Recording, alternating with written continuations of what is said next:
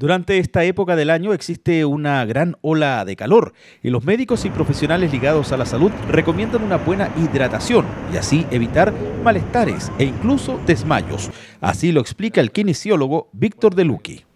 Bueno, es importante primero eh, considerar la hidratación. Nosotros estamos atravesando por un tema que es una ola de calor nunca antes vista. Hace 10 años atrás que no teníamos estos picos de, de calor. Eh, y es importante la hidratación, ¿ya? Nosotros recomendamos siempre para evitar problemas tanto eh, osteomioarticulares, jaqueca, dolor de cabeza, problemas de eh, ansiedad, ¿no es cierto?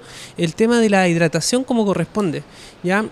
siempre es bueno nosotros mantener, hablamos de 7, 8 vasos de agua diario que debemos consumir, ¿no es cierto?, al momento de emplear, ¿no es cierto?, nuestra actividad de la vida diaria. hoy día hemos tenido reporte, por ejemplo, de jaqueca harta ansiedad, eh, desmayos, de repente hasta malestares y cervicalgia, que son eh, característicos del calor, sobre todo del oficinista, de la persona que está en el trabajo. El profesional además recomendó que desde las 11 hasta las 16 horas debe evitar exponerse a los rayos del sol y consumir alimentos frescos y los que tienen bajas calorías.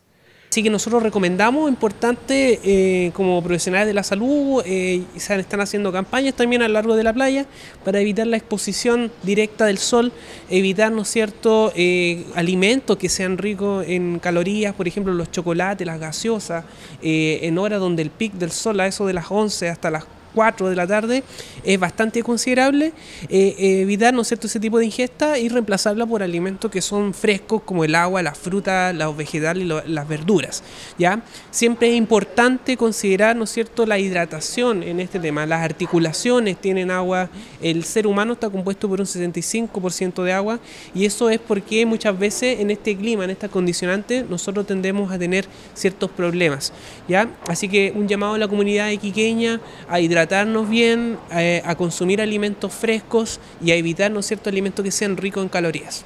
Finalmente, se recomienda a la comunidad la práctica de deportes, para lo cual la Municipalidad de Iquique lleva adelante una campaña de incorporar máquinas de ejercicios en plazas y espacios públicos de la ciudad.